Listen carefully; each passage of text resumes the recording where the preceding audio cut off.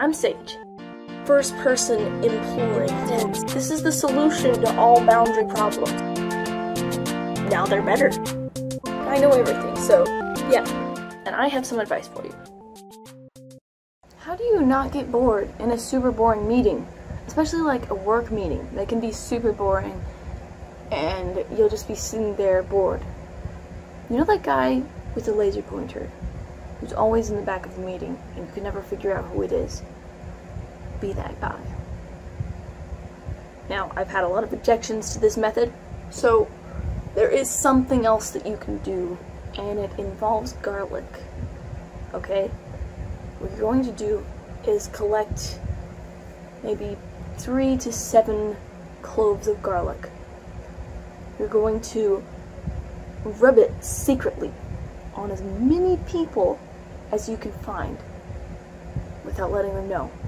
You're also, for an additional challenge, going to stick two up your nose. This is important for the intricacies of this game. It creates your mind a focus for your mind to be so intense about not getting caught, being the one who created that smell, and not letting people know that your nose is stuffed up with garlic cloves.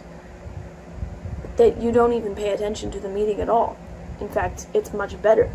You you miss the entire meeting, which is awesome. Plus, you also miss all the passive aggressive little jabs at you the entire time. Because you'll be way too focused on the garlic game. Now, uh, sometimes people's noses hurt doing this. Um, you can have, you know, hemorrhaging, fainting, death, etc. If you do this right, none of that will happen. Uh, side note to my vampire friends, this is not for you. Stick with lasers, because we all know how you feel about the.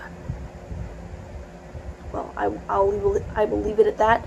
Um, if you do this right, you will have a wonderful meeting. Everything will be fun and sinky, so you are welcome. Enjoy that next meeting.